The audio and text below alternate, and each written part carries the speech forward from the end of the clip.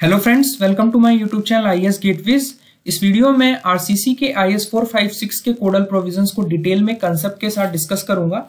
ये इस सीरीज़ का पार्ट 44 वीडियो है। पुराने वीडियोस के लिए आप मेरे यूट्यूब चैनल की प्लेलिस्ट पे जाके देख सकते हैं। और जिस भी क्लॉज में आपको फर्दर कोई डाउट लगता है तो आप कमेंट सेक्शन में डिस्कस कर सकते हो। और सबसे इंपॉर्टेंट चीज़, अभी जो एग्ज़ाम्स होने वाले हैं, उसके व्यू पॉइंट से as well as interview point of view से, बहुत इंपॉर्टेंट है इन कोडल प्रोविजंस को समझना। सो दैट आपको बेसिक अंडरस्टैंडिंग हो जाए तो आपको हर चीज़ रटनी नहीं पड़ेगी and you will be able to answer the question so let start सबसे पहले मैं आपको बता देता हूँ कि मैंने पिछले वीडियोस में बात की थी कि जो हम रेनफोर्समेंट बार्स में स्प्लाइसिंग करते हैं, वो हमारा बेसिकली तीन तरीके होते हैं, जो मैंने आपको ऑलरेडी एलिब्रेट कर रखा था। यहाँ मैं जस्ट आपको ब्रीफ कर देता हूँ। पहला तरीका था कि हम बार्स को ओवरलैप करेंगे रेनफोर्समेंट बार्स को, जिसको हम लैप स्प्लाइस बोलते थे इससे रिलेटेड जितने भी प्रोविज़न है, मैं आपको ऑलरेडी पिछले वीडियोस में, जो पार्ट 43 और पार्ट 42 वीडियो है, उसमें एक्सप्लेन कर चुका हूँ। जो सेकेंड तरीका है स्प्लाइसिंग करने का है, वो है कि हम अपने रेनफोर्समेंट बार्स को वेल्ड कर दें। अगर हमारी बार्स की लेंथ कम आ रही है और हमारी रिक्वायर्ड लेंथ ज़्यादा है तो उन बार्स को आपस में वेल्ड करके हम स्प्लाइसिंग कर सकते हैं। तीसरा जो मॉडर्न तरीका है दैट इज़ मैकेनिकल कनेक्शन ठीक है तो जो ये वीडियो है, इसमें जो हम बेसिकली प्रोविजंस जिनको डिस्कस करने वाले हैं, उसमें वेल्डिंग ऑफ़ बार्स और मैकेनिकल कनेक्शन यानी वेल्डिंग स्प्लाइसिंग वेल्डिंग स्प्लाइस के बारे में बात करेंगे और जो स्प्लाइसिंग हम अचीव कर रहे हैं मैकेनिकल कनेक्शन से, उसके बारे में बात करेंगे। तो इसको समझने से पहले मैं आपको कुछ पॉइंट्स आपको याद दिला देता हूँ कि हमने पढ़ा था कि जो लैप स्प्लाइस है, इसको जनरली हम परमिट नहीं करते हैं। अगर हमारा बार का डायमीटर जो रेनफोर्समेंट बार है, उसका डायमीटर अगर हमारा 36 सिक्स mm से बड़ा हो रहा है, यानी 36 सिक्स mm से अगर बार का साइज़ ज़्यादा है तो जनरली नॉट परमिटेड परमिट कर सकते हैं। देर एक्सेप्शनल केसेस जहाँ पर आप ये परमिट कर सकते हो बट वहाँ पे आपको ये ध्यान रखना है कि आप कन्फाइनमेंट के लिए एडिशनल स्पायरल्स दीजिए। इसके बारे, जिससे रिलेटेड प्रोविजंस मैं आपको एलोबरेट कर चुका हूँ। ठीक है? अब जो वेल्डिंग स्प्लाइस है, इसका यूज़ तब आता है जब हमारे बार्स का रेनफोर्समेंट जो रेनफोर्समेंट बार्स हैं, उनका साइज़ हमारा 36 सिक्स mm से ज़्यादा हो जा रहा है। तभी हम प्रेफर करेंगे। ध्यान रखना है वेल्डिंग स्प्लाइस तभी यूज़ करेंगे जब हमारा बार का डायमीटर 36 सिक्स mm होगा। तभी हमारी जो वेल्डिंग के लिए कॉन्टैक्ट एरिया मिलना चाहिए वेल्डिंग के लिए, वो सफिशियंट होता है। अदरवाइज़ जो हमें डिज़ाइन स्ट्रेंथ चाहिए होगी वेल्ड की वेल्डेड ज्वाइंट की, वो नहीं मिलती है। ठीक है? तो based on the experimental result trial के बेसिस पर ये स्टैब्लिश किया गया कि हमारा जब बार का डायमीटर 36 सिक्स mm से ज़्यादा होगा, तभी हम वेल्डिंग स्प्लाइस प्रेफर करेंगे। ठीक है तो it is suitable for large diameter bars हम ये कह सकते हैं कि it is suitable for large diameter bars ठीक है? तो अब होगा क्या? वेल्डिंग से सबसे फ़ायदा इंपॉर्टेंट क्या चीज़ है? कि जनरली हम क्या फॉलो कर रहे हैं? बट वेल्डिंग हम यूज़ करते हैं जनरली फ़ील्ड में। तो हम एंड टू एंड अपने रेनफोर्समेंट बार को रखते हैं और यहाँ पे इसको वेल्ड कर देते हैं। ध्यान ये रखना है कि जो हमारे फ्यूजन फेसेस हैं, उनको हमें स्क्वायर कट करना है। ठीक है? और दूसरी इंपॉर्टेंट चीज़ कि जो हमारे जनरली बार के साइजेस होने चाहिए, वो सेम होने चाहिए। They should have same diameter जब आप वेल्डिंग स्प्लाइसिंग कर रहे हो। With generally greater than 36 six mm ठीक है? तो अब वट वेल्डिंग जब आप कर रहे हो, जहाँ पे फ्यूजन फेसेस आपके same line of centre line जो है, दोनों एनफोर्समेंट बार्स की वो कॉन्साइड करेगी तो अब आपने जो वेल्ड किया, उस वेल्ड की एडिक्वेसी कुछ होनी चाहिए, कुछ स्ट्रेंथ होनी चाहिए, जिसके लिए हमारा कोड कुछ प्रोविजंस देता है, जिसके बारे में हम बात करने वाले हैं। तो जो ये आपने वेल्ड किया, इसकी डिज़ाइन स्ट्रेंथ चेक करने के लिए, वेल्ड करने के बाद हमारे इस पर टेंशन टेस्ट परफॉर्म करते हैं। जिसके बेसिस पर हम अपने रेनफोर्समेंट बार का, जो आपने ज्वाइंट बनाया वेल्ड का उसकी डिज़ाइन स्ट्रेंथ आएगी। डिज़ाइन स्ट्रेंथ ऑफ़ वेल्ड ठीक है, और ये हमारे बार्स कौन से होंगे? ये रेनफोर्समेंट बार्स होंगे। तो जो ज्वाइंट में वेल्ड किए जा रहे हैं welded jointed bars reinforcement bars सकते हैं। ठीक है तो क्या प्रोविजंस हैं? वो देख लेते हैं। यहाँ पे ये सेम चीज़ दिखाई हुई है कि कैसे हमारी वेल्डिंग की हुई है बट ज्वाइंट्स तो सबसे पहला जो क्लॉज है दैट इज़ 26.2.52 ये बात करता है कि उन वेल्ड्स की हमारी क्या स्ट्रेंथ रखनी है जिससे आप रेनफोर्समेंट बार्स को जोड़ रहे हो। ठीक है? तो the following values may be use where the strength of weld has been prove by test to be at least as greater as that of parent bar ठीक है? तो अगर हमारा बेस्ड ऑन हमने पढ़ रखा है कि जो स्प्लाइसिंग है बेस्ड ऑन द किस नेचर की फोर्स ट्रांसफ़र हो रही है? नेचर ऑफ़ फोर्स ट्रांसफ़र एक रेनफोर्समेंट बार से दूसरे रेनफोर्समेंट बार में किस नेचर की फोर्स ट्रांसफ़र हो रही है, उसके बेसिस पर हमने अपनी स्प्लाइसेस को क्लासिफाई किया था। टेंशन स्प्लाइस जहाँ पर हमारी जो फोर्सेज हैं वो टेंसाइल नेचर की ट्रांसफ़र हो रही हैं स्प्लाइसिंग के थ्रू और दूसरा हमारा कंप्रेशन स्प्लाइस कंप्रेशन स्प्लाइस को हम बेसिकली एंड बियरिंग स्प्लाइस भी बोलते हैं, जिसके प्रोविजंस और इसका जो मैकेनिज्म है लोड डिस्ट्रीब्यूशन का, उसके बारे में हम बात करेंगे अभी इसी वीडियो में। तो ये हमारे कंप्रेशन स्प्लाइस हमारे एंड बियरिंग स्प्लाइस के नाम से भी जानते हैं। तो जब आप कंप्रेशन में स्प्लाइसिंग कर रहे हो या मैकेनिकल कनेक्शन कर रहे हो। मैकेनिकल कनेक्शन में बेसिकली हम इस तरह के कनेक्टर्स यूज़ करते हैं, जिनको आप कपलर्स बोलते हैं बेसिकली ये आजकल जो मॉडर्न प्रोसीजर्स हैं मॉडर्न अवेलेबिलिटी है इन कपलर्स की, उस बहुत सारे कपलर्स अवेलेबल हैं, जिनको मैं भी शॉर्ट नाम आपको बता दूँगा किस टाइप के कपलर्स अवेलेबल हैं किन किन नाम से आते हैं ये रेनफोर्समेंट में स्प्लाइसिंग करने के लिए कपलर्स तो जब आप वेल्डिंग कर रहे हो कंप्रेशन स्प्लाइस है, ठीक है?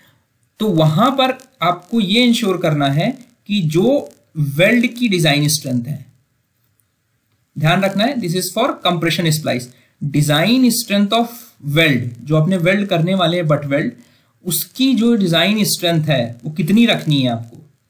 In case of compression that should be hundred percent of design strength of जो आप रेनफोर्समेंट बार जिनकी आप वेल्डिंग करने वाले हो कंप्रेशन स्प्लाइस में, उसकी जो डिज़ाइन स्ट्रेंथ है, उस इसका मतलब जो वेल्ड होगा और जो हमारा रेनफोर्समेंट बार्स होंगे कंप्रेशन स्प्लाइस के, वो हमारे सेम स्ट्रेंथ के होंगे। तो आपको ये वेल्ड उस हिसाब से डिज़ाइन करना है। ठीक है? और उसके अकॉर्डिंग फिर वेल्डिंग करनी है। उसके बाद आते हैं कि जब हम टेंशन में स्प्लाइसिंग कर रहे हैं, ठीक है? तो टेंशन में स्प्लाइसिंग बेसिकली जो आपकी बीम्स होती हैं बीम्स में जो आप टेंशन रेनफोर्समेंट प्रोवाइड करते हैं सपोज़ यहाँ पे हमने छह बार्स प्रोवाइड किए थे as a tension reinforcement in case of simply supported beam ठीक है? तो इसके प्रोविज़न ये कहते हैं। पहला प्रोविज़न ये है कि जो हमारी डिज़ाइन स्ट्रेंथ ऑफ़ वेल्ड रहेगा, जो आपको वेल्ड की डिज़ाइन स्ट्रेंथ रखनी है इन केस ऑफ़ टेंशन वो आपको रखनी है at least 80 percent of design strength of welded bars. जो आपको रेनफोर्समेंट बार्स आप वेल्ड कर रहे हैं, ठीक है, इसकी स्ट्रेंथ का, इसकी डिज़ाइन स्ट्रेंथ का 80 परसेंट स्ट्रेंथ आपकी टेंशन स्प्लाइस के वेल्ड के लिए होनी चाहिए। ठीक है? दो चीज़ें हैं, ये आप 100 परसेंट कब रखोगे? ये 80 परसेंट की जगह design strength of weld in case of tension splice can be hundred percent वो हंड्रेड परसेंट दो केसेस में होगी। पहला केस कि आप जो वेल्डिंग है, उसको प्रॉपरली सुपरवाइज कर रहे हो, जो हमारे स्टैंडर्ड गाइडलाइंस हैं रेनफोर्समेंट बार की वेल्डिंग के लिए, वो सारे प्रोविजंस स्ट्रिक्टली अडेयर हो रहे हैं साइट पे। तो उस केस में आपको 100 percent of design strength of reinforcement bar जो आप वेल्ड कर रहे हो, वो आप लेना है डिज़ाइन में। ठीक है? यानी पेरेंट बार की 100 परसेंट स्ट्रेंथ टेंशन स्प्लाइस के केस में भी लेनी है अगर वेल्डिंग सुपरविजन है, या फिर उस पर्टिकुलर क्रॉस सेक्शन पे जहाँ पर आप स्प्लाइसिंग कर रहे हो, यानी अगर कोई सिंपली सपोर्टेड बीम है, और हमने उसका क्रॉस सेक्शन काटा, यहाँ पर ये क्रॉस सेक्शन आया तो उस पर्टिकुलर क्रॉस सेक्शन पे हमारे 20 परसेंट से ज़्यादा बार्स वेल्डेड ना हो। 20 percent of bars at any cross section should not be welded ठीक है? तो ये बार्स कौन से? टेंशन रेनफोर्समेंट वाले बार्स हैं। यहाँ पे कंप्रेशन रेनफोर्समेंट नहीं देखना बिकॉज़ हम यहाँ पे स्प्लाइसिंग टेंशन रेनफोर्समेंट की बात कर रहे हैं। Tension reinforcement bar should not be spliced तो इसका मतलब अगर हमारे छह बार्स थे एज अ टेंशन रेनफोर्समेंट तो सिक्स का ट्वेंटी परसेंट हमारा वन पॉइंट टू लिख सकते हैं तो से वन यानी एक से ज़्यादा बार हमारा यहाँ पर जो है वो हम वेल्ड नहीं कर रहे हैं उसको। ठीक है? तो वहाँ पर जो टेंशन में स्प्लाइसिंग में हम जो वेल्ड कर रहे हैं, उस पर्टिकुलर मेंबर की, उस पर्टिकुलर एनफोर्समेंट बार की, वहाँ पर आप हंड्रेड परसेंट डिज़ाइन स्ट्रेंथ ले सकते हैं वेल्ड की ऑफ़ पेरेंट रेनफोर्समेंट बार ठीक है? तो यहाँ पर यही चीज़ लिखी हुई है। और अगर मैकेनिकल कनेक्शन है मैकेनिकल कनेक्शन के लिए आपको ध्यान रखना है, हमेशा ही जो आपको डिज़ाइन स्ट्रेंथ लेनी है मैकेनिकल कनेक्शन के केस में वो आपकी हंड्रेड परसेंट लेनी है मैकेनिकल कपलर्स के केस में। तो यहाँ पर यही चीज़ मेंशन की गई थी, जो मैंने आपको एक्सप्लेन की, ये आपको ध्यान रखना है। तो टेंशन स्प्लाइसिंग और कंप्रेशन स्प्लाइसिंग के प्रोविजंस हैं, जब आप वेल्ड कर रहे हो वेल्डिंग स्प्लाइस उसके बाद आते हैं हम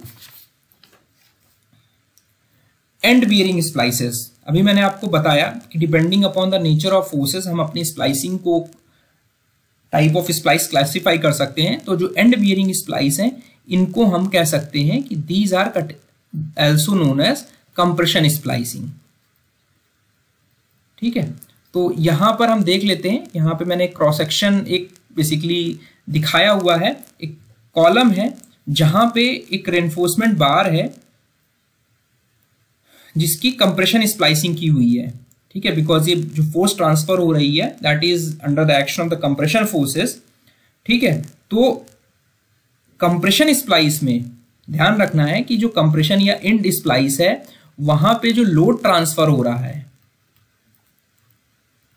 वो दो तरीके से हो रहा है। जो रेजिस्टेंस ऑफ़र हो रहा है, जो लोड आ रहा है, पहला रेजिस्टेंस आप इसको इस तरह समझ लें अगर कि this is the compression splice यहाँ पे ये हमारा कंप्रेसिव फोर्स ही आ रहा है तो यहाँ पर कंक्रीट जो ये एनफोर्समेंट बार है ठीक है, ये कंक्रीट पर बियर कर रहा है। It is bearing against the concrete या इसको यहाँ भी समझ सकते हैं कि ये हमारा बार आया। यहाँ पे हमने, ये बार हमने क्रैंक किया हुआ है। दो तरीके हैं कि हम स्ट्रेट लैप लेंथ से इसको कवर करें या क्रैंकिंग करके करें। तो ये जो हमारा स्लोप है, ये मैंने आपको पिछले वीडियो में बताया था कि कंप्रेशन स्प्लाइस में जो आपकी क्रैंकिंग है, वो आप वन इन सिक्स स्लोप से ज़्यादा नहीं करेंगे। जो बार आप टर्मिनेट करने वाले हैं और जो बार आपका कंटिन्यू हो रहा है। तो यहाँ पर हमारी ये जो रेनफोर्समेंट बार है, ये इसके अगेंस्ट बियर कर रहा है। तो हमारा जो लोड ट्रांसफ़र हो रहा है, वो बियरिंग से हो रहा है। और दूसरा, यहाँ पे हमारा कंक्रीट के साथ इस रेनफोर्समेंट बार का बॉन्ड है। तो यहाँ पर बॉन्ड स्ट्रेसेस डेवलप हो रही हैं। तो जो बॉन्ड स्ट्रेसेस का डिस्ट्रीब्यूशन पैटर्न है, वो कुछ हमारा इस तरह रहेगा। ठीक है? ये हमारा जैसे जैसे बार हमारा टर्मिनेट होगा, हमारा जो बॉन्ड स्ट्रेसेस है वो ज़ीरो हो जाएँगी। ठीक है? और they are transfer to the connecting bar ठीक है? तो ये बॉन्ड स्ट्रेसेस हैं और यहाँ पर बियरिंग बियरिंग अगर आप देखेंगे तो कंक्रीट की जो बियरिंग में लोड ट्रांसफ़र होगा, वो कुछ इसका स्ट्रेस डिस्ट्रीब्यूशन ऐसे होगा। ठीक है? तो ये स्ट्रेस डिस्ट्रीब्यूशन हो गया। तो इसका मतलब यहाँ पर क्या हुआ कि जो कंप्रेशन स्प्लाइस है, यानी एंड बियरिंग स्प्लाइस है वहाँ पर आपका जो स्ट्रेसेस लोड ट्रांसफ़र हो रहा है, उस समय हमारी दो तरीके की स्ट्रेसेस हो रही हैं। एक आपकी कंप्रेसिव स्ट्रेसेस हो रही हैं प्लस टेंसाइल स्ट्रेसेस हो रही हैं।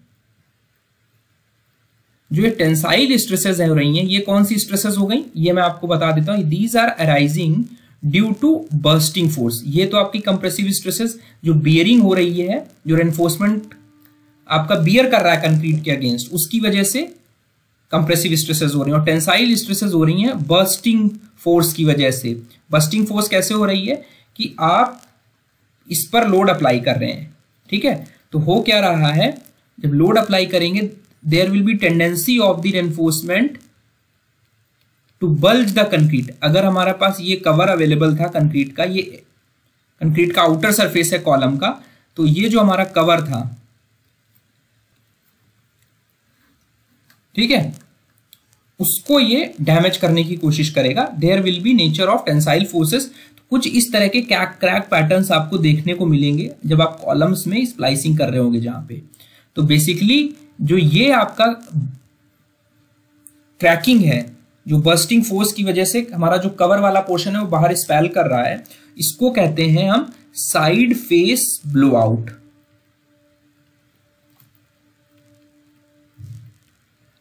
ठीक है? तो इसके लिए कुछ हमारे अमेरिकन कोड स्टैंडर्ड्स ने प्रोविजंस दिए। अपना आई कोड इस बारे में नहीं बात कर रहा है। तो मैं आपको बता देता हूँ कि इस केस में जब आप कंप्रेशन स्प्लाइसिंग कर रहे हो एंड बियरिंग स्प्लाइस कर रहे हो तो इस चीज़ को प्रिवेंट करने के लिए कि हमारा ब्लो आउट ना हो बस्टिंग फोर्सेस की वजह से साइड फेस कंक्रीट हमारी स्पैल ना करे, इस चीज़ को ध्यान रखते हुए हम ट्रांसफर्स एनफोर्समेंट प्रोवाइड करते हैं, जिसमें ट्रांसफर्स एनफोर्समेंट में ये इंश्योर करते हैं कि हमारा जो स्पेसिंग है that should be less than or equal to four db ठीक है, ये जनरल गाइडलाइन आप ये ध्यान रख सकते हो। यहाँ पे लिखा है कि this is side face blow out and this is the transverse reinforcement ठीक है? और जो हमारी टेंशन स्प्लाइस थी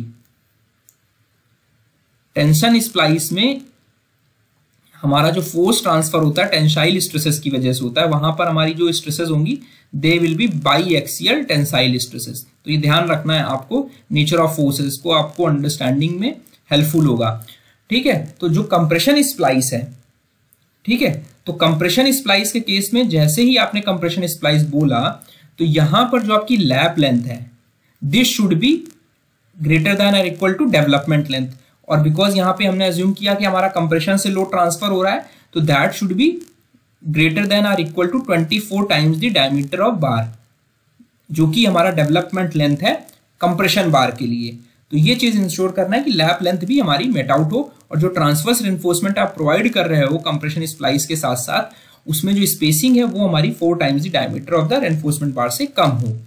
ठीक है? तो ये प्रोविज़न हमारे कुछ एंड स्प्लाइसिंग की हैं। अब ये देख लेते हैं कि जो एंड बियरिंग जैसा नाम सजेस्ट कर रहा है एंड का मतलब ही हमारा है कि जो रेनफोर्समेंट बार का जो एंड है ठीक है? वो बियर कर रहा है कंक्रीट के अगेंस्ट बियर कर रहा है। इसी वजह से हम इसको एंड बियरिंग स्प्लाइस बोल रहे हैं कंप्रेशन स्प्लाइस को।